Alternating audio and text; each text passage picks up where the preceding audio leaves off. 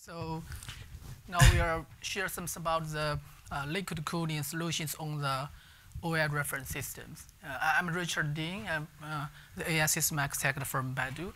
I'm Tianyi. Yes.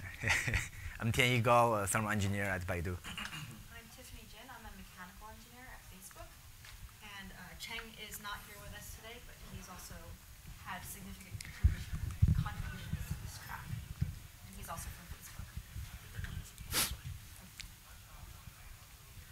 Okay. Okay. Uh, Yeah, this is the agenda for this topic. Uh, so first we will uh, share the current thermal challenges for the AI hardware systems. Then we we, share the example how uh, Baidu X-MAN, the fourth generation AI computer X-MAN, solve this kind of challenges and other OAI reference systems. And see, we, we from the, our current experience, we see how we can uh, we can um, make kind of standard that can serve the thermal uh, the thermal challenges, both uh, the liquid cooling and the air cooling uh, perspectives. And next, we share some uh, um, practice uh, how rack and data center facilities that can help to build the liquid cooling solutions. Yeah. Okay. The thermal, yeah. Um, to, to have a better performance for the AI computing, right? So generally, we need to increase the power consumption of the AI accelerators. So that can have a very, um, uh, for example, the uh, from the gen- last generations, uh, the for example the GPU, right? So the power consumption uh, increased uh, um, from um, 250 watts and to 300 watt and even higher. So, so even now 45, 40, 40, 450 watts, right? And accordingly, they achieve the, the performance, benefits. So this is a very uh, general way how we can get the performance benefit. But this uh, has a lot of, um, uh, to solve the power, power uh, is uh, very challenging. So, so for example, currently the, the TPU, yeah, the V3, the third generation, yeah, adopt the liquid cooling to serve this kind of high density, high power AI accelerators. So, yeah, and uh, also we uh, share our OI reference system how Baidu X-MAN uh, solve this kind of thermal challenges. So we have uh, already uh, uh, three generations. So we our first generation the, launched in the middle of uh, 2016. At that time, we can support uh, 16. Uh, at, at that time, it's still GPU, right? So 16 GPU in one box. Um, basically, uh, at- at that time, the most most typical GPU server support four and at most eight GPUs in, in, one, in one chassis. So we can achieve 16. So you can see this in, in this chassis, all are GPUs, there's n- nothing else, right? And also we have uh, two rows. You can see this is the kind of thermal design to make sure that the latter row has no thermal problems. Yeah. And the move, move later, so in the, in, by the end of the uh, 17, uh, 2017, we also work together with uh, NVIDIA yeah, to adopt the, to the, the, the first uh, liquid cooling systems that can help achieve the best cooling efficiencies. And then in the, our third generation, uh, launched uh, by the end of uh, last year, yeah, we, we can support 16 uh, accelerators in uh, uh, 8 U chassis box. So at this time, we, we try to build the system in a modular way so that it can, it can um, support different uh, accelerator modules. So this can help to build an ecosystems. So yeah, how we uh, for our second generation we uh, use the liquid coolings. Yeah, so our, our architecture actually can support both the uh, traditional air cooling. Yeah, we have the shared fan wall. Yeah, at the rear of the, the rack, and also we, we can support the liquid cooling. You, we see that we have a manifold on the rear of the on the on the rack, and we use the cooled plate. Yeah, so these systems. Um, help to have the better effic- power uh, thermal efficiencies. Now come to our fourth generation. This is also our OAI compatible systems. So of course it also support liquid cooling. So we combine these uh, two, ben- two benefit two features together. So it's a kind of a modular, modular way that can support different accelerators, but also achieve the uh, best cooling efficiencies. Yeah. Okay, this is a uh, overview. Yeah, we, this uh, we have a, a HIB board and the uh, universal base board and the integrated fan and as other cold plates, the thermal uh, cooling related com- components. Yeah, this is an overview of the system overview. Yeah. So basically, it's a, uh, from the Cheng system, it's, a, it's a quite similar like the, the previous shared three OI reference system. It's a difference that this system is the first liquid cooling reference systems. Yeah. Here we have uh, the, this is the, this is the inlet. Yeah, this blue is, this is the inlet, and the red one is the outlet. So the cold water, and the cold water, and the, the hot water out. So we have the, the, the, the water lookout to fan out uh, to several, parts. Yeah, we have the, this the beam to hold the another uh, in aggregator, right, to make sure the system is okay. Yeah. Okay, so that is uh, it is um, uh, liquid cooling part. So for these systems, actually the HIB interface board still have uh, other components. So that is not liquid cooling yet. So from a system design perspe perspective, we still need the fan here. Yeah. So this system actually is hybrid solutions. So uh, we remove the liquid cool, the cold plate part and use the protein heat sink. So the, the fan is, is working okay, yeah. But for but for the liquid cooling solution, we still need the, the fan there, just that the fan speed here is lower, yeah. Okay, this is the, the front, uh, this is the, the front view. We have the uh, HIB interface board, several uh, expansion slots, and this, uh, yeah, this is the rear view. So this is the um, we, we, we, need to consider how we can solve the thermal challenge in here because actually the QSFP-DD here is in the real side, so it will have impact on the signal integrity of the, for example, the QSFP-DD cables. So that is the is a challenge we also need to resolve. Yeah. Okay, so this is the uh, heat requirements. We, we can see that actually when you use uh, uh, liquid cooling, so um, generally is, is uh, the, heat, the heat requirement is uh, less than the heat sink because uh, actually the heat sink uh, is quite high. So basically, uh, we can control the, the heat requirement under uh, three units. Yeah. Okay, so this is the, the OM, from OM module perspective, how we, there, there's indeed thermal challenges, right? So um, this is, for example, the the height and the, the, the width of the OM modules. The, these are the screwing holes to, uh, to fix the, the modules onto the UBB board. And we see some, uh, uh, some thermal related challenges. Uh, so for example, on, on, the right side, yeah, some, some modules may have some components that is um, have, have, have interface. Yeah, for example, here. So this will have some impact on a common design cold plate. Yeah, also this is a three part. Yeah, so this is um, uh, this is not uh, good for kind of standardization. So we, we, later we'll share how we can solve this kind of uh, problems. And here this is an example cold plate design. So basically, um, yeah, here the, the scrolling hole, yeah, because uh, this should be exactly made the OM module itself. Yeah.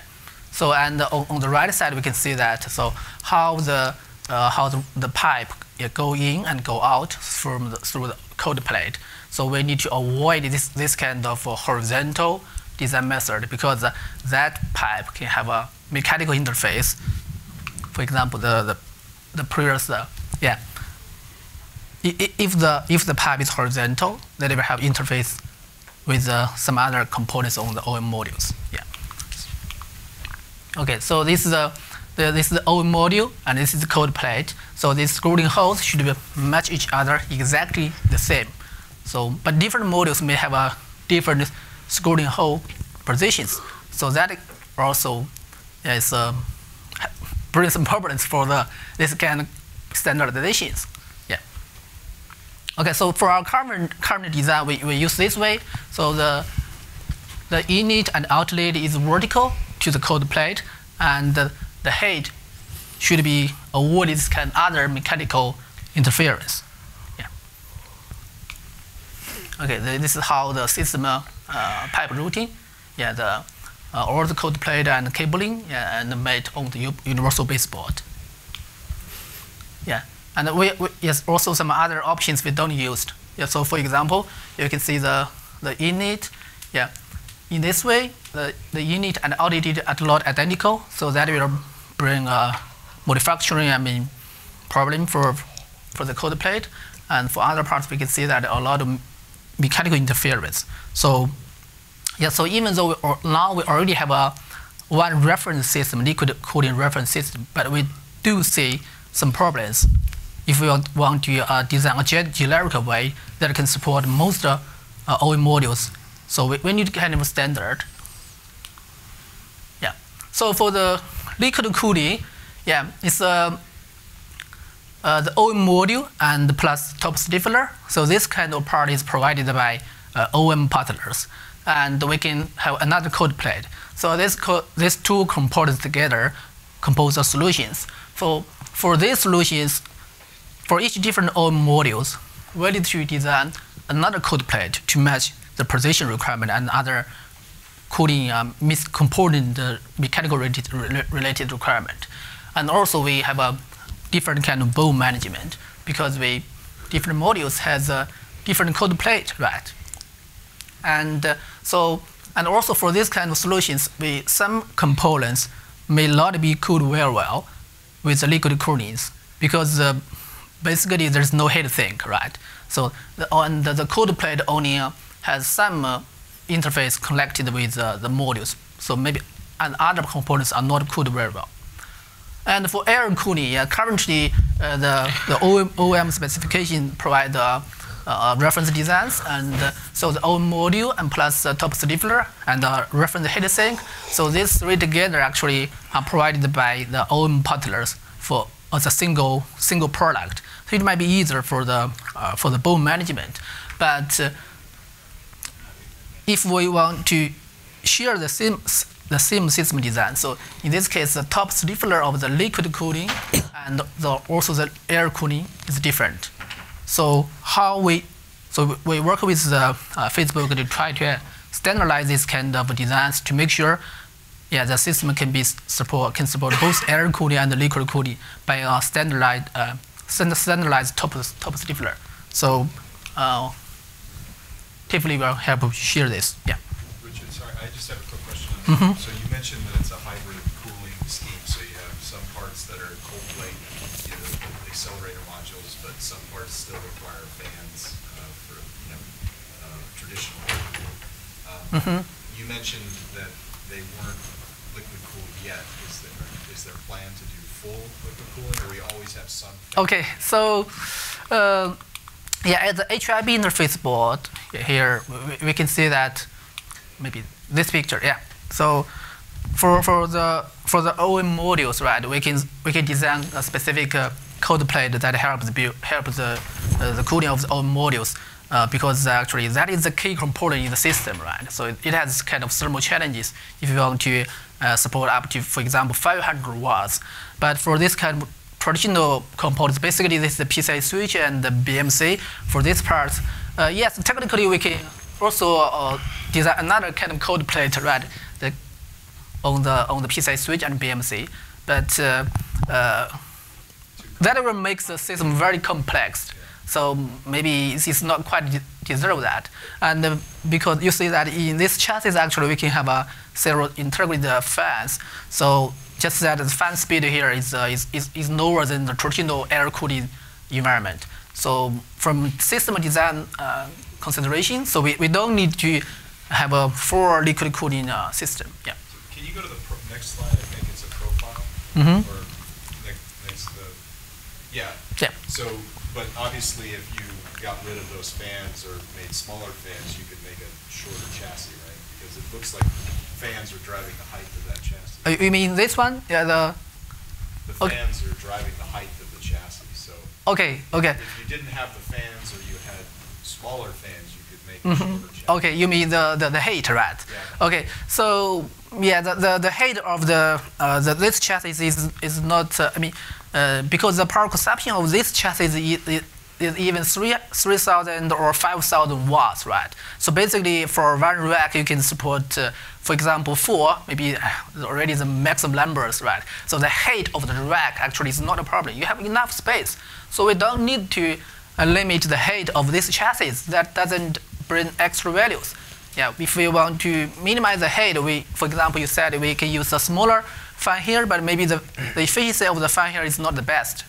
So, and also we have some other, uh, for example, the high, uh, the, the uh, PCIe card here. So maybe it's, it's, it's, uh, it's, it's possible to keep it three unit, but not too much, right? So that doesn't help too much.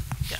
And also, actually, this system is, is designed to support both air cooling and liquid coolings. So we, we, we don't want to design a special fan here just for the liquid cooling solutions. Yeah. Okay. Thanks, Richard. So Richard kind of went over some of um, like a reference system design for um, for the OAMs. and he highlighted some of the thermal challenges related to um, enabling liquid cooling for the OAMs. And so I'm going to talk a little bit about how that impacts um, what we're going to do in terms of standardization and how that affects the OAM specification. So back in March at the Global Summit, we um, released uh, an initial version of the OAM specification. And in that, um, we talked about the top stiffener and how there were not really any particular requirements for the top stiffener other than having holes available for the mounting screws, which are mounting the OAM module to the baseboard. Um, there were no requirements as to size and location of the heatsink holes. And um, going forward, if we're going to be looking at liquid cooling, um, that's something that we're going to have to consider is to um, standardize those the size and the hole locations um, for that mounting. Um, and the reason for that, as Richard highlighted, was the your cold plate and your tube loops tend to stay with your system versus with your with a air cooled heatsink solution, your heatsink and your um, OAM is your FRU. Um, so our goal is to one standardize those hole locations and then also find some sort of standard interface um, for the liquid cooled solution to the OAM. Um, once we find some sort of solution that we can standardize on, we would, um, the OAI group would al also provide reference designs so that um, we, that would mean that the OAM vendors would only have to have minimal redesign. Um, as of right now, our cooling target for, uh, for liquid cooling is 550 watts. Um, and that assumes a single die OAM. So I'm going to go through a, uh, few different proposals, um, but all of those assume single die. And then also the next few slides are really, really dense. Um, we will be releasing these slides online, so I think we would encourage you to take a look at those and help give us feedback later. So um, the first solution or proposal that we have is um, what we're going to call option A1. And basically this, um, this tries to find a standard top surface of the top stiffener of the OAM so that you, the bottom side of your cold plate could be uh, a standard. And then you could have a cold plate that's shared between different OAMs. Um, and in order to do this, what we would do is grow the top stiffener above the tallest component. So some of the, uh, the pros of this approach is that you have a standard cold plate. So when you're swapping out an, an OAM in the field, like in a data center, um, all you would have to do is change out or retrofit your TIM or your thermal interface material, um, and you wouldn't have to change out your cold plate. Uh, the disadvantage of this approach is that um, some of the components, the side components or miscellaneous components that are next to the die, um, some of them may be particularly tall, and in order to deal with that, your top stiffener would have to grow a lot, and that would uh, cause less than optimal cooling for those components. So in order to help alleviate that, we have um, option A2, which is very similar. But now instead of having a top stiffener that is purely a structural material, you'd have maybe multiple parts or multiple materials. Um, one which has a structural component, and another that has more of a uh, like more of a thermally conductive material um, that um, might help with better cooling to the, the side components. So the pros of this approach is that you, you improve the cooling for your components on the side, um, and you help better protect your package. But the problems with this approach is that now you have a more complicated design and uh, possibly um, more difficult manufacturing process. And the, the third approach that we came up with is option B, which is quite different than A1 and A2, um, because that means that we, you would have a, a semi-custom cold plate. And so uh, if you have a semi-custom cold plate, then you can adjust the wings of the cold plate to um, accommodate uh, different heights of components on the sides of your OAM, and that would improve, like opt optimize the cooling to those components. Um, because now your cold plate is different for each OAM anyway, um, you could go another step further and you could also possibly have different mounting holes or different um, package sizes. So pros of this approach, um, more flexibility um, and um, possibly optimized cooling. And disadvantages, now you have a mu much more difficulty in the data center in terms of your service model, where now when you're swapping out an OAM, you also have to swap out your cold plate as well. Um, and as Richard mentioned, that you would also have some issues with BOM management and more complexity there. Um, if we take a step back, uh, this is kind of our approach to um, standardization for liquid cooling at the chassis level. Um, right now, we're focusing on standardizing for the cold plate and um, we can also standardize for the tube loops because now we have a universal baseboard or UBB. And so since on the UBB those eight OAM modules are in fixed locations, we can have those the, the standardized tube loops. Um, the other areas that you could possibly look at are the rack to chassis interface, um, your quick disconnects as well as your coolant. But right now what we're saying is those are going to be platform dependent um, and out of scope for standardization. But we definitely welcome alternate proposals and feedback on that. Um, so uh, at the end of the presentation, we'll share with a mailing list and um, wiki. So feel free to give us feedback. Um, and now I'm going to hand it over to Tianyi, and he's going to talk about liquid cooling at the um, rack and data center level. Thank you. Thank you. Uh, I'll be uh, talk about the rack level configuration design and the data center facility for the liquid cooling. So this slide uh, shows uh, some highlights, uh, key innovations on the Baidu uh, new rack V3. So this is a high level compatible design. We have it's a 21 inch rack, but it is compatible for 21 inch and 19 inch IT equipment to be populated.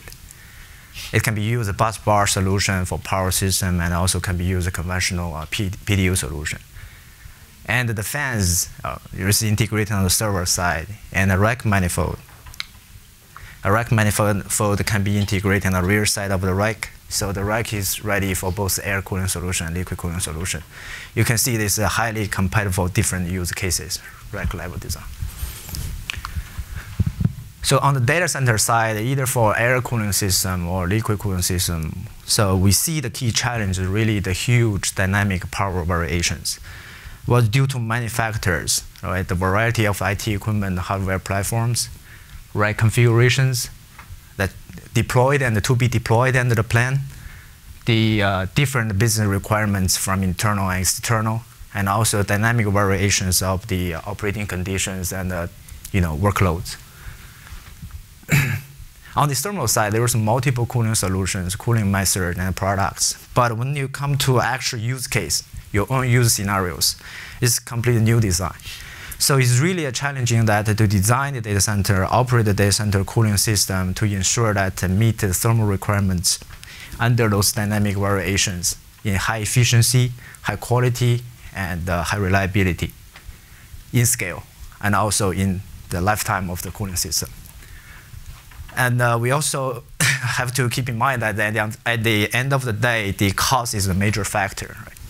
So Baidu, we continuously innovating and improving our cooling infrastructures.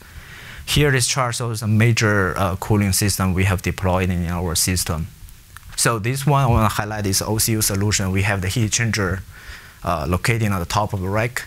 So we had already deployed the liquid loops, water loops in the data center very close to the rack. For the uh, for in this application, uh, for the liquid cooling system design, it's not just a pure liquid cooling infrastructure. It's a co-design or co-existing design of a liquid cooling system and air cooling system in the same data center IT room and the, and the data center building. So the system loop or thermal loop requires an end-to-end solution from the liquid cooling uh, electronic to the ambient. So because uh, like gentleman just mentioned, uh, so the IT equipment needs cooling water and also cooling air at this, at this version. So the uh, this chart again, the economical factor is always a key. So this chart shows, you know, is simplified a schematic representation of a cooling infrastructure for a liquid cooling loop and the air cooling loop. So it's a two independent loop, right? The liquid cooling loop you can see using a CDU as a this coolant distribution unit, forming a two thermal transfer loop in secondary loop and, and the primary loop. So in some of the use cases, in some scenarios, these two loops, the liquid cooling infrastructure and the air cooling infrastructure can be coupled. So this one I see a possible solution. You, you can see that uh, the liquid cooling infrastructure and air cooling infrastructure are coupled on the secondary system of the uh, our cooling system. You can see the cooling water or cooling liquid supplied by the CDU is goes to a liquid cooled equipment and the liquid to air heat exchanger is for cooling the air parallelly. Or it can be working in series. The water supplied by the CDU goes to the liquid to air heat exchanger, gets warmed up, then goes to the liquid cooled equipment and re return back to the you know, secondary loop. So this one, as that gentleman mentioned, that can be considered as a pure liquid cooled rack, right? But you have the liquid to air heat exchanger very close to the rack high density solution. But this two loop can be decoupled from the secondary system. You can see this one. You have two independent secondary loop for the liquid cooling infrastructure and air cooling infrastructure. But those two loop or two infrastructures share the same primary loop, or it can be separate.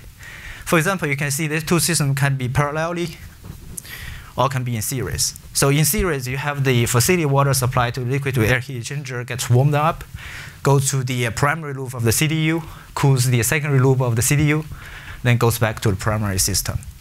Or it can be parallelly operated. So this one goes to the facility loop. So we, Baidu has deployed multiple uh, systems in our data centers.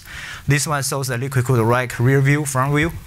That one is an external cooling unit dedicated for liquid cooling solution that's room fluid distribution. So I want to say that uh, since the time is up, so a really good solution requires a thorough end-to-end design, including IT and our infrastructure, and there are very good use case and application scenario, and also require a healthy and uh, uh, mature ecosystem. So with that, I would like to invite you visit the Baidu X-MAN 4.0 demo booth and also provide feedback to our OAI liquid uh, standardization. So with that, I will take questions and uh, thank you for your attention. Those two links, you can do the uh, project, you can access the project wiki, get the latest updation, and also do the registration for the mailing list. Thank you.